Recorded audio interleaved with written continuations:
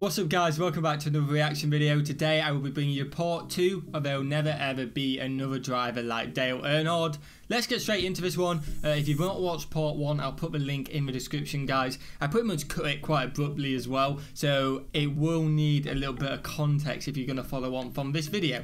So what we were actually seeing towards the end of that video was talking about uh, Dale Earnhardt's driving style. He was very rough, he did a lot of bump and runs, which were saying you bump him out of the way, so you get went into the rear of another car, bumped him out of the way, got the speed to go past him. That was his main tactic. And it was saying now some people didn't like it, but a lot of people like the working class liked it because it were representing them struggling from paycheck to paycheck. He was struggling for every position, from position to position to potentially prevail, which he did quite a lot, guys. Now let's get straight into this reaction. Hit that like button I'd really appreciate let's try and hit 50 to 100 likes. If you're new around here and you've come from part 1 or you're just jumping on the bandwagon at part 2, I'd really appreciate it. Hit that subscribe button. It means a lot to me. We are literally so close to 7k as I record this. We should fingers crossed, unless a lot of you guys have just disappeared, we should have hit 7k by the time I am recording this video.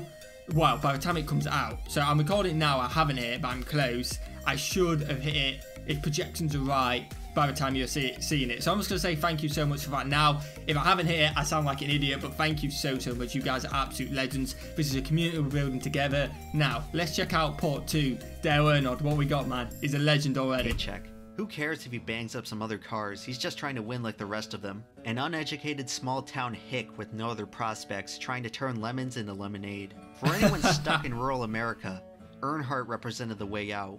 Standing outside of his car, Earnhardt was just like them, but as soon as he stepped inside that black number 3, he transformed into a racing god. Yep. A lot of Earnhardt's detractors pointed to his racing style as an unfair crutch, but eventually, for anyone watching long enough, his talent was undisputable. And Earnhardt loses it, goes on the grass, comes oh. back, and oh. Earnhardt still got the lead. Incredible. What a save, Although man. Dale Earnhardt remains one of the most memorable NASCAR drivers to this day, he was never the oh. most popular oh. driver. That distinction belonged to Bill Elliott. Oh, wow. You know, the thing of it is, I have been not the aggressive driver all my life. You know, I've tried to give... Yo, who's this Bill Elliott? I've heard his name about, but I've never really done a reaction to him. He was popular, man. How, how come you guys have not told me to check him out yet? If you have, I apologise, but damn, he was popular. the best of the thing. But when a guy cuts you off that bad and that obvious, it's time to, to take the other cheek. Awesome Bill from Dawsonville, Georgia was in many ways a foil to Dale Earnhardt. He, too, came from a racing family and rose to prominence in the 80s as one of NASCAR's best. The soft-spoken and humble Elliott contrasted heavily with the outspoken and brash Earnhardt. Whereas Earnhardt would gain notoriety for his combative racing style, the name of Elliott's game was speed. Over the past decade in NASCAR, the overall speeds of the race cars had gradually risen, especially yep. on the giant superspeedways of Daytona and Talladega. In 1984, Cale Yarborough became the first stock car driver in history to set a 200 mile per hour qualifying oh, lap at Daytona. The very next lap, he would lose control and total his race car. As the oh. speeds crept upwards, the drivers crept ever closer to the edge of control. Yeah, Despite 100%. the newfound risk, NASCAR's top speeds continue to climb. With each new superspeedway event, engineers and crews would roll out ever so faster cars. And from 1985 to 1987, no car was faster than Bill Elliott's red and white Ford Thunderbird. Perhaps his most stunning achievement came in the 1985 Winston 500, when Elliott oh. cut an oh. oil line and fell two laps behind the leaders, only to make up the entire deficit under green and win the race. That's a fast car. That is a fast car call, was man. simply that much faster than the others. Wow. In modern times, nobody has monopolized NASCAR racing like Bill Elliott. He has raced around this season faster than a person throwing double sixes. Two years later at the board. same event, Bill Elliott would set NASCAR's all-time speed record, 212.8 miles per hour. Oh. That's fast, man. That is extremely fast. For comparison, the pole speed for the Indianapolis 500 that same year, the fastest open wheel race, was 215. Oh, it's also important to note that, man. on average, a stock car weighs about twice as much as an Indy yep. car. And it's not as aerodynamic as well. There's been a pretty big elephant in the room during this whole video. So far I've talked on and on about the history of NASCAR, but I've yet to explain why people actually like it. I mean, sure, it's easy to cherry pick the sport's most exciting moments. Yep. But what about the other 99% of the time it's just regular old fashioned racing? What's the appeal of watching cars go around in circles? Well, long story short, people don't watch NASCAR for the same reasons they watch other sports. You can pick up a football and start playing right now in your backyard. You can't just hop in a NASCAR and start racing people. In order to understand the appeal of NASCAR, we have to talk about soldiers, astronauts, and prestige. Okay. Being a soldier comes with a certain amount of prestige.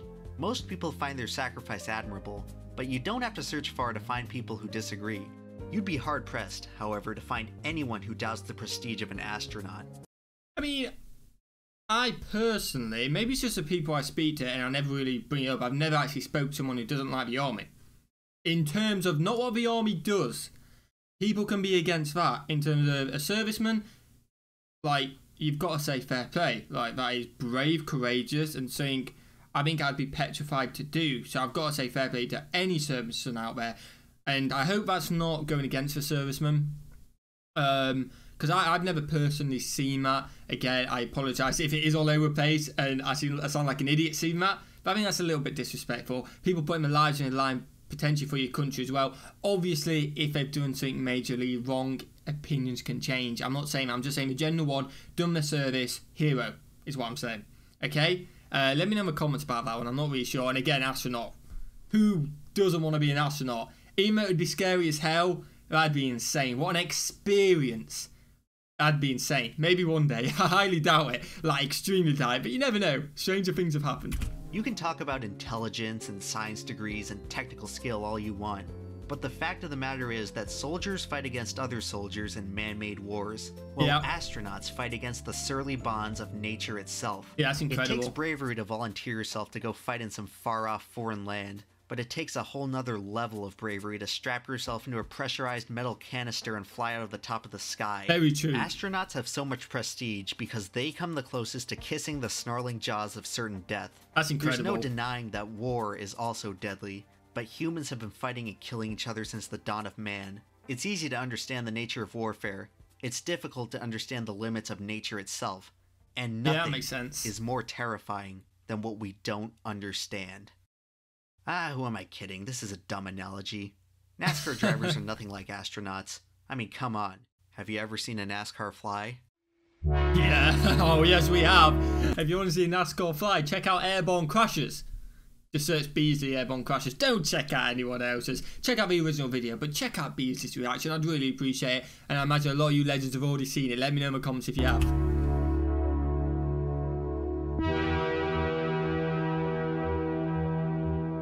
In the race immediately corresponding with Bill Elliott's record breaking qualifying lap, Bobby Allison would blow a tire in the trioval. The back of his car would lift off the ground and sail into the catch fence at nearly 200 miles Oh, per hour. Oh, thank God It turns out good that if you spin a car sideways at a fast enough speed, the aerodynamics will force the car aloft like the wing of an airplane. Yeah. In the 1987 Winston 500, the 210 mile per hour pace was enough to lift up Bobby Allison's 3,500 pound race car like a piece of paper. For a brief, surreal moment, all of NASCAR stood still. By pure chance, Allison's left front fender clipped the wall the instant before the back of his Oh, car wow. hit the oh, catch fence, which redirected the momentum of his car away from the spectators. That's amazing. Had That's Allison amazing. spun at just a slightly different angle, we could have witnessed a tragedy on the scale of the 1955 Le Mans disaster, where an out of control race car was projected into the stands at a very high speed. 83 spectators were killed in the catastrophe, leading many European nations to place a temporary ban on all motorsports. Wow, I never to knew this day, it remains the deadliest accident in racing history. Holy. I never knew that. Allison's car had sheared a 100 And when I say incredible, incredibly horrible. Like that shouldn't be. You shouldn't be going to sport and not coming away from it. We go to sport for an enjoyment. It's so sad that people do sometimes, unfortunately, for whatever reason, go to sport and don't come back. It's honestly heartbreaking, and I never knew that. And yeah, wow. foot gap in the protective fencing, and NASCAR fans found themselves staring into an eerie window of what could have happened. Miraculously, only five spectators were injured, and no one was killed. The line Amazing. between driver Absolutely and amazing. spectator had been severed, and it could have ended NASCAR entirely. Fortunately, NASCAR would make good use of their second chance, as Yeah. the era of speed came to a permanent end.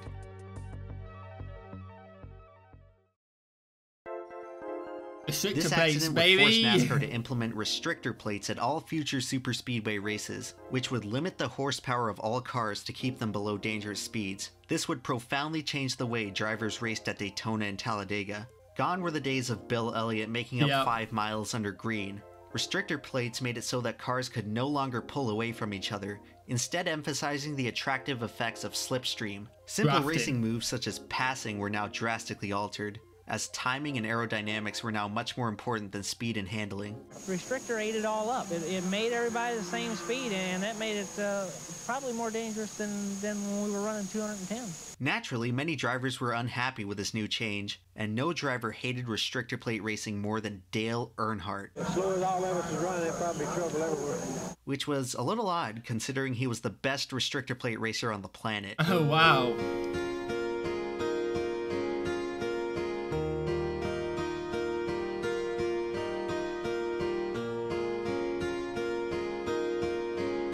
You know, that shows you a true driver and a, a true racer. The fact that, I know I'm pausing a lot, I apologise for that, but the fact that he is winning all these races with restrictor plates and potentially is the best restrictor plate driver ever, and he's still saying, no, I got into this business because I want to race fast and hard and fair obviously it's fair because everyone's got a restrictor plate, but that's what he wants. And you can't take the race out of someone, no matter how much they're winning. If he wants a proper race, he'll try his best to get it, and I respect that.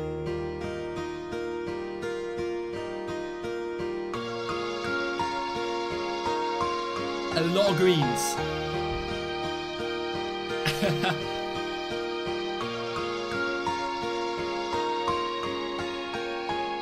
wow.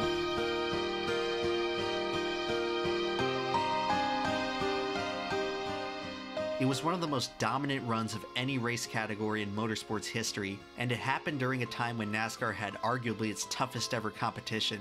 The 90s truly were a golden age of NASCAR in popular culture. Attendance and television ratings steadily rose as movies like Days of Thunder drew intrigue from across the nation. Big brands and TV networks were lining up to capture their own slice of the booming NASCAR scene. NASCAR had gone fully national, and it had fundamentally transformed itself from a simple showcase of speed in the prior decade. The sponsors, drivers, tracks, and cars had all changed, but one thing remained the same. Dale Earnhardt was dominating the competition. From 1990 to 1994, Dale Earnhardt would win four more Cup championships, tying Richard Petty's record of seven, a record considered by many to be untouchable just 10 years prior. With each new championship, it became harder and harder for people to disregard Earnhardt's success. Yeah, Although definitely. many still resented his racing style, you can't win seven NASCAR championships without being a pretty talented driver.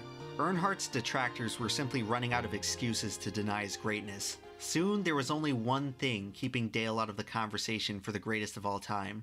Yo, I know what it is. I think I know what it is. The Daytona 500 win. It's gotta be. Let's go. It's my noise. If it is, I'm gonna be so happy. Have you, you've not won Daytona, right? I've won the Daytona the Yes. firecracker race in July, but I haven't won the Daytona 500. That's like the Super Bowl race for us. After 17 years Did he win it in 98? 98, I believe? 500 belongs to Franklin, maybe 2000. Tennessee's Darrell Waltrip. He's done it. Oh, I won the Daytona 500. I won the Daytona 500. In 1989, Darrell Waltrip won his first and only Daytona 500 in his 17th attempt. At the time, he was considered the best driver to never win it, and oh, after Oh, he wow. did, everyone was left to wonder about the next best driver to take Waltrip's place. Immediately, many thought of Dale Earnhardt, who had yet to win the Daytona 500 after 11 tries. But Yep. surely in 1990, while entering the final corner of the final lap in first place, after leading three quarters of the race, Earnhardt could put the narrative to rest. Gotta be. run single file halfway down the back straightaway, half a lap to go. Still, Earnhardt now stretching his lead by another car length over Cope. Labonte can't do anything with Cope either. Earnhardt's car blows up. Oh, you gotta be good, man. Outside, it is car number 10, Derrike Cope. Something amiss on the Earnhardt car. Coming to the line. It's Labonte pulling Wow. An amazing finish. Heartbreak, man. Dale, what the heck happened on the last lap? We run over some debris and cut a right rear tire down, David. Uh, just a quarter of a lap away from victory. In 1991, Earnhardt would damage his car after hitting a seagull, forcing him to pit. He would battle all the way back to second place before crashing with two laps to go. Oh, Dale good, Earnhardt mate. Fails to win the Daytona 500 again. Again. In 1992, Earnhardt would get caught up in a crash that wasn't his fault. A newfound consequence of restrictor plate racing were massive crashes that would often wipe out over a dozen cars. After a while, these crashes seemed almost inevitable due to the extremely close pack racing that now resembled rush hour traffic, but at 190 miles per hour. Yeah. One slight error by a single driver could spark a chain reaction that would take many cars out of the race. It was one of Earnhardt's main reasons for hating restrictor plate racing, and he would fall victim to it numerous times. In 1993, Earnhardt would once again lead most of the race, only to finish second after Dale Jarrett passed him on the final lap. After a seventh place finish in 94, Earnhardt would finish second again in 1995, and again in 1996. Later in the 96 season, Earnhardt would suffer a horrific looking crash that sent his number 3 Chevy tumbling down the Talladega front stretch. I mean, that's scary because that's really, that's honestly reminds me of the fatal 2001 crash. And it shows how dangerous it is. That's horrible, man. Oh, no safety walls, man. Dale Earnhardt attempting to walk to the ambulance as he walks away That's from good to see, the at least, worst Ben. incidents in his racing career. While it was known that Dale Earnhardt hated restrictor plate racing, it was starting to look like restrictor plate racing hated him. All those frustrating years for Earnhardt. So close, so many times when it should have been his, and it wasn't. If we get the right help, we're at the right place at the right times. Like I just told Richard, I said, what do you think? You know him better than I do. He said, I've been here a lot of times before, and uh, you can bet he's been in the floor pan right now with that throttle pedal, but if it's racing God's time to shine on that three, we'll just have to see.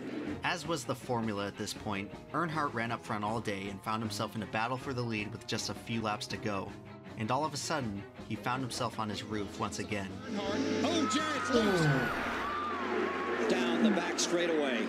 Big trouble. Earnhardt Indeed. up and over number three. And for the 19th time, Lady Luck 19th, man. deals a bad hand. I'm not sure I actually believe in curses, but Dale Earnhardt's misfortune in the Daytona 500 really made me consider it. For some wicked 100%. reason, the seven-time NASCAR champion and best superspeedway racer in the world could not, for the life of him, win this one superspeedway race. Earnhardt's gut-wrenching futility at this one event is made even more insane when you consider that he's the winningest driver in the history of the track. No, seriously. By 1997, Earnhardt had won pretty much every stock car event at Daytona multiple times over. I think I didn't know. That is incredible. And he'd never won a 500. That is a curse. I know he gets there eventually, but that is a All curse. except the one that mattered most. After 19 tries and 19 failures, he should have been completely discouraged.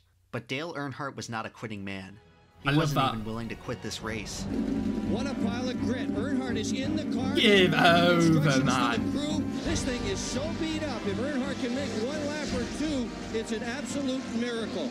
Even though he no longer had any chance of winning, Dale Earnhardt would hop out of the ambulance and back into his mangled car to finish the race. When faced with the lowest moment of his career, Dale Earnhardt did what he always did. He waited for an opportunity and pushed forward. Wow.